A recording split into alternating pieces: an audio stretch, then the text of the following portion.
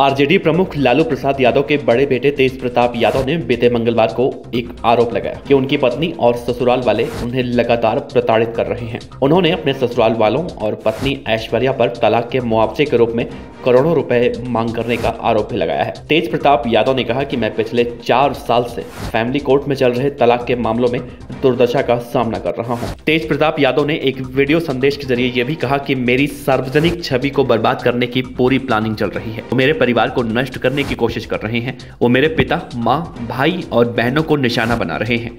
मेरे पास मेरे ससुराल वालों के खिलाफ कई वीडियो और ऑडियो सबूत है।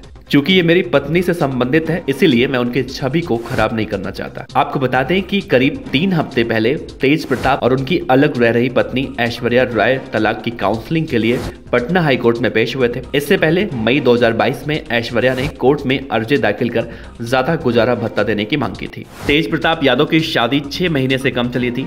12 मई 2018 को दिवंगत पूर्व मुख्यमंत्री दारोगा प्रसाद राय की पोती ऐश्वर्या राय के साथ शादी के बंधन में बंधे थे। इसी साल नवंबर में ऐश्वर्या ससुराल से रोते हुए बाहर आई थी और ससुराल पक्ष पर प्रताड़ित करने का आरोप मीडिया में लगाया था, जिसके बाद पूरे बिहार में एक सनसनी फैल गई थी। लालू और राबड़ी देवी ने अपने लाडले के लिए काफ़ी पढ़ी लिखी और बेहद खूबसूरत ऐश्वर्या को चुना था। ऐश्वर्या के पिता चंद्रिका राय, लालू प्रसाद यादव के करीबी नेताओं में से एक रहे हैं। ऐसे में राबड़ी देवी कई बार ऐश्वर्या को देख भी चुकी थी और बेटे के लिए रिश्ता तय होने से पहले पसंद भी करते थे। ऐश्वर्या अपने परिवार की बेहद लाडली बेटी रही है। ऐश्वर्या को घर परिवार के लोग, जिप्सी नाम से पुकारते हैं, क्योंकि जिस दिन ऐश्वर्या पैदा हुई थी, उस दिन बारिश हो रही थी। उनकी स्कूली शिक्षा पटना में हुई और फिर उच्च शिक्षा के लिए वो दिल्ली में चली गई। ऐश्वर्या ने पटना में स्कूल की पढ़ाई की और दिल्ली से एमबीए की पढ़ाई की, इसीलिए वो आधुनिक विचारों से लबरेज थी, जबकि तेज प्रताप पटना में पले बढ़े और पढ़ाई से ज़्यादा धार्मिक प्रवृत्ति के रहे। ऐसे में दोनों के विचारों और रहन सहन में कोई तालमेल था ही नहीं। दोनों की आदतें और पसंद नापसंद अलग अलग थी। इसी वजह से